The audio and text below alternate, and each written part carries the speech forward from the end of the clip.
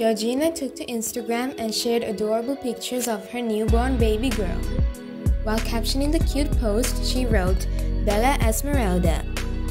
Bella is Cristiano Ronaldo's fifth child. She was born on the 18th of April 2022.